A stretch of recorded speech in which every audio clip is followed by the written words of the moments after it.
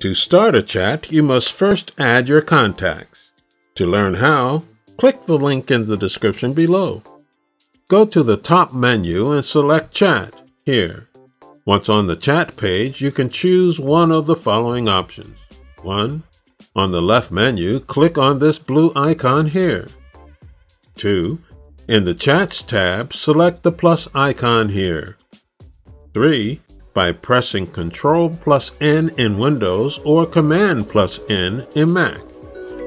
Whichever way you choose, you will see at the right side these two fields. 1 at the top where you write the contact's name you want to start the chat with, and two, at the bottom where you can write your message.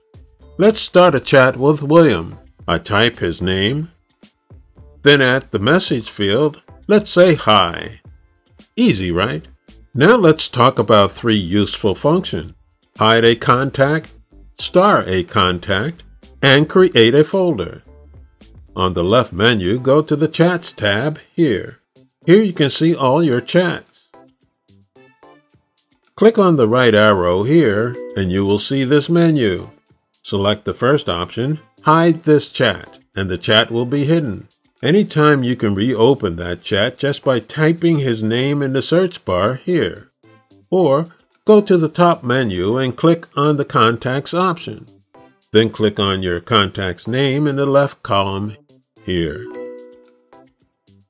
If there is a contact you regularly chat with, select the star this contact option here, and that contact will always be visible on the left side in the starred tab here.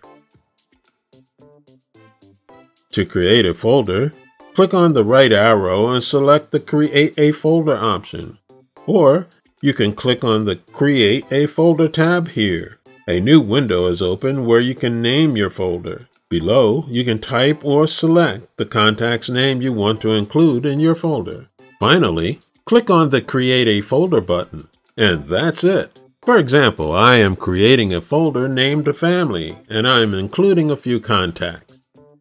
Once created, you will see your new folder at the top of the left column. Keeping in touch through chat in Zoom is a very practical way to work and to be organized.